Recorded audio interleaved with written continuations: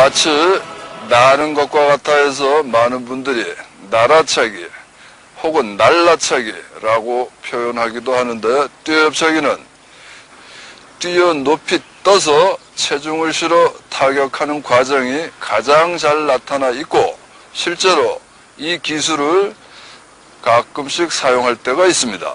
지금부터 뛰어협차기를 배워보도록 하겠습니다. 으차!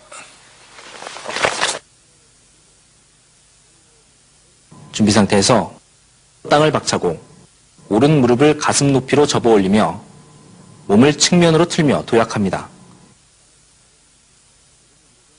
왼발을 끌어올려 상체와 함께 비스듬히 완전히 웅크러진 자세가 되도록 해야 하는데 이것은 발을 차는 순간 몸의 힘을 일시에 발 쪽으로 보내어 타격력을 극대화하기 위해서입니다.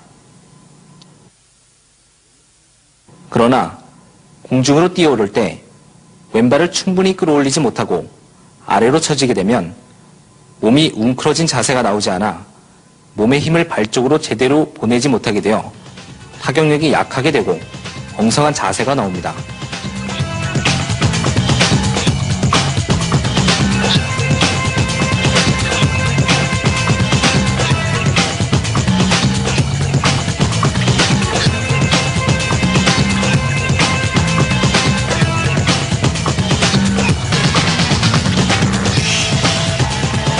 앞의 동작에 이어 공중에서 앞쪽으로 밀려 들어가며 웅크렸던 상체와 접었던 오른발을 쭉 뻗으며 발을 찹니다.